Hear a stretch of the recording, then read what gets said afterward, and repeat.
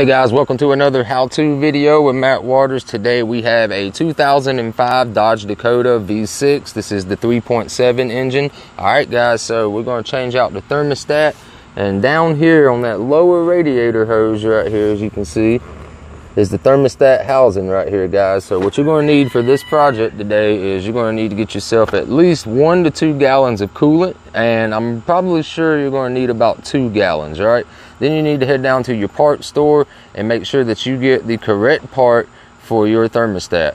Then you need to get yourself a socket wrench, maybe some extended pieces, but you wanna get yourself an eight millimeter socket and then I recommend to get some uh, nitrile vinyl gloves. That way you just don't get this stuff all over your hands everywhere, right, guys? So that you get all that stuff.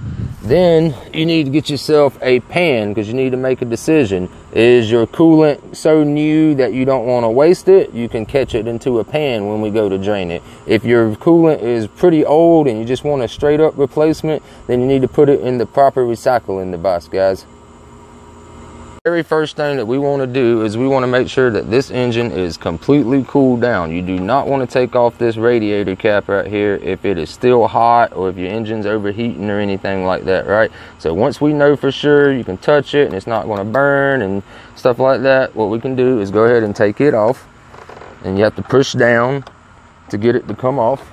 All right, so take a look up in here and that's what we got going on guys. So my coolant is fairly new. It's only a couple of weeks old and then i started having sticky thermostat issues. So i'm just going to use the old bucket pan deal and then i'm going to go ahead and drain all that that i can into there to save some money on coolant since it's pretty new and then we'll get to the next step all right so the very first thing that i want you guys to do is come over here to your negative terminal on your battery and you want to go ahead and loosen that and most of the time that's just a 10 millimeter nut so go ahead and unhook your negative cable from your battery. All right so now our negative is unhooked so now what we need to do guys is go ahead stick your radiator cap on your battery or something because the shield right here is kind of angled you don't want to lose it down in there all right you want to just go ahead and just stick this stuff to the side for right now then what we want to do guys is because this thermostat right down there is on the lower radiator hose, we're going to have to, no matter what, drain this radiator. So there's a simple way to do this. I'm going to get back here and I'm going to show you. Right here at the bottom of your radiator is this little cock valve right here, guys. You're going to loosen that up. And like I said, make sure that your engine is cool because this coolant will burn you that's still in these hoses. Although your radiator cap might not be hot, these hoses could still be hot and that's what's going to drain out is all your coolant so you want to be easy with this and you just want to turn that cock and go ahead and put your gloves on so i'm going to do that now Up right here underneath ready to catch my good fluid and then I've got some gloves on just so we don't get all dirtied up and nasty and keep this stuff off your hands all right so what I'm gonna do is turn this ball cock right here as you can see and what you want to do is just twist now look at that. It's going to start coming out real slow right here. Now some people don't have time to wait for this right here to drain. So what they'll do is they'll go ahead and twist this plug all the way out, right? But for right now, I don't want to twist it all the way out because it'll probably just go squirting all over the place and out of my bucket. So just for the meantime, I'm going to let it drain a little bit out of this right here so that my pan right here is going to catch all of that good fluid. Then we'll come back after it slowed down a little and then we'll completely take the cap off, guys. So just go ahead and let that drain down and then come back when it's all right guys so we still got it draining. I've loosened it up just a tad bit more so that it pours straight even flow. And as you can see it's just going to come out straight down. There's no big mess. Doesn't get all over your support bars and splash all over your stuff right here. If you go ahead and take that out all the way it's just going to dump out like crazy. So i would rather just let it take its time drain the clean waste. I don't have a big mess in my yard or all over my suspension components and stuff like that. So we're just going to let that keep draining until it stops. The coolant that we got draining, it's pretty much almost drained down. Should be finished any second now. So what we can go ahead and do now is take our socket right here with our 8 millimeter and you want to make sure that you can get in there just like this. I chose this real small socket because this is a real tight space. I don't need a jumbo huge socket to do what I'm about to do which is just loosen this bottom bolt.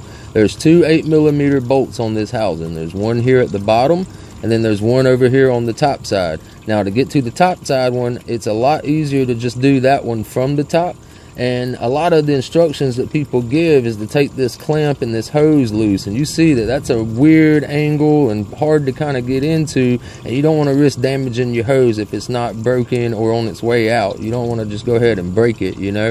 So what I like to do is leave this attached. Do not take this loose. What I like to do is just take the two bolts on the housing and just pull this off when it's time to pull it off, right? So we're going to let this just finish draining and then we're going to go ahead and start on that Alright guys, so we went ahead and broke our first bolt right here loose and went ahead and screwed it out. So we're just going to stick this to the side. Now we're going to go underneath and we're going to get the other bolt that's right down here. Alright, so we're now going to go to our rear bolt right here and go ahead and break this one loose and get it off. Alright, so be careful in this step, guys, because when you take this bolt off, this housing will be loose, and it might be just a little tight on there, maybe not, but you will get a little bit of coolant that comes out of here, so just watch your arm and hands when you do do that.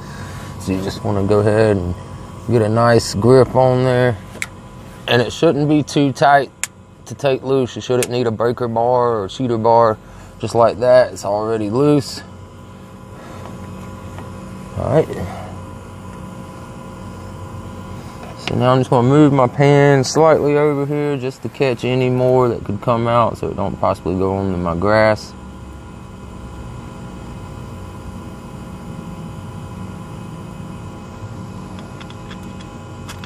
Alright, so there is that bolt right here, so we're going to stick that to the side also.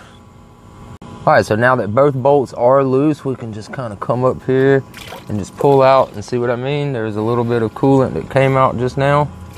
You just want to let that just drain out into your pan. It's not a whole lot, but it is a good little bit. All right, so now what we can do is pull down our thermostat housing right here. And if you can see, I'll bend it just a little more for you guys out there to see it. There is your thermostat right there, guys. So what we need to do now is we need to remove this thermostat so we can replace it with our new one.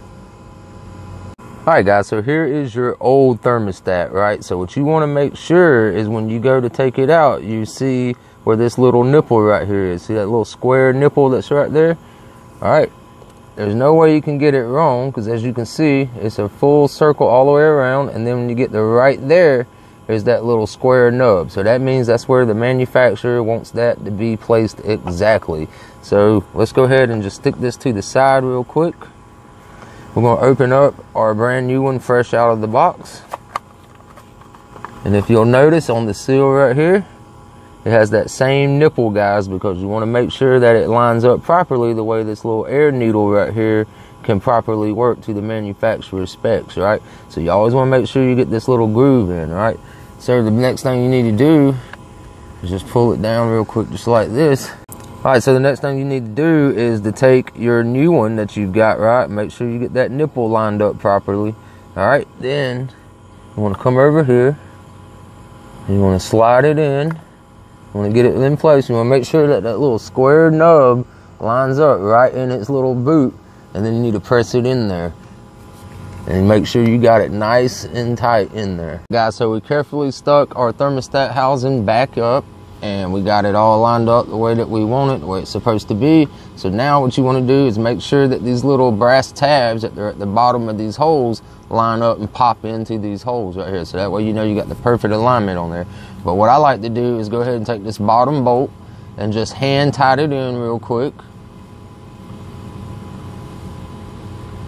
And I want to go ahead and put it down to about hand tight, but I don't want to go ahead and tighten it down yet, guys. So go ahead and leave that right there just at hand tight.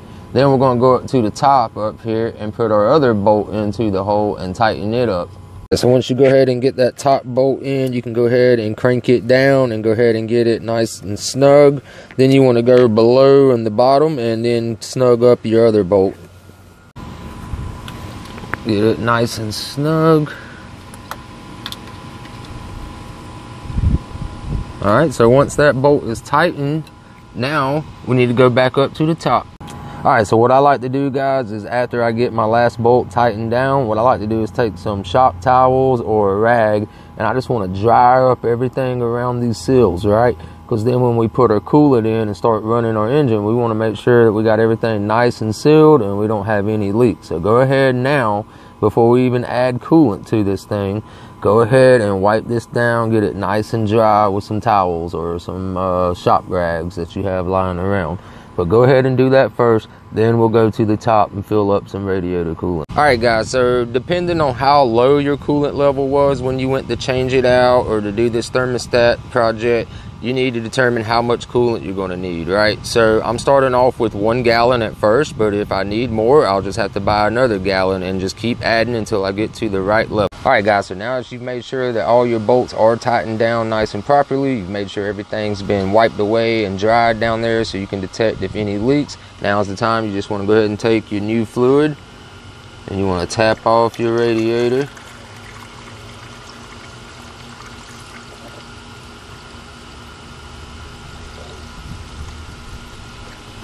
And then once that's full, you need to go ahead and put your cap back on. Then you need to go ahead and plug up the negative cable on your battery.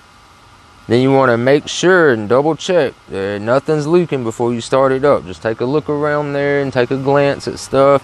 Then you want to crank up your vehicle.